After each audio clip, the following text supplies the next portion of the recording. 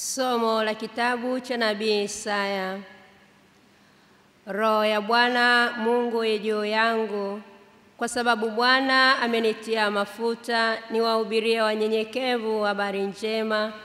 Amenituma ili kuwaganga waliovunjika moyo, kuwatangazia mateka uhuru wao, nao waliofungwa habari za kufunguliwa kwao kutangaza mwaka wa Bwana uliokubaliwa, ni siku ya kisasi cha Mungu wetu, kuwafariji wote waliao, kuwaagizia hao walio katika Sayuni, wapewe taji ya maua badala ya majivu, mafuta ya furaha badala ya maombolezo, vazi la sifa badala ya roho nzito wapate kutiwa miti ya haki iliyopandwa na Bwana ili atukuzwe.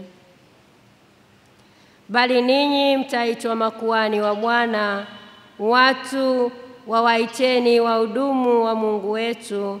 Mtakula utajiri wa mataifa na kujisifia utukufu wao.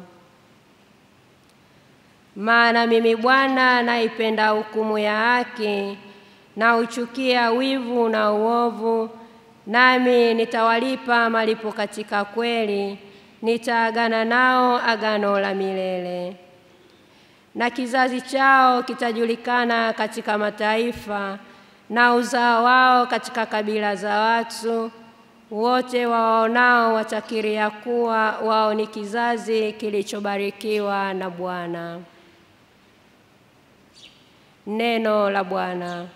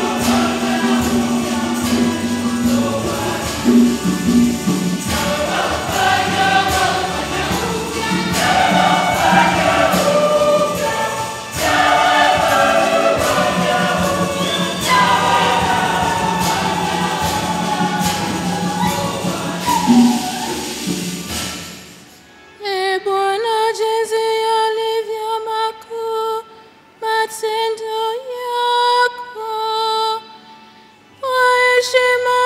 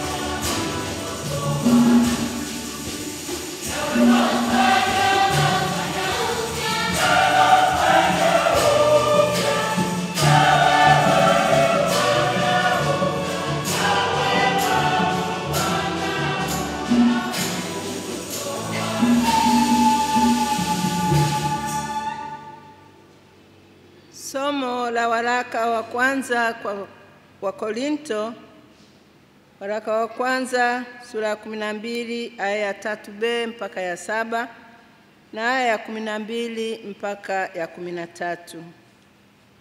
Hawezi mtu kusema Yesu ni Bwana isipokuwa katika Roho Mtakatifu. Basi pana tofauti za karama, bali bali Roho ni yeye yule. Tena pana tofauti za huduma, na Bwana ni yeye yule.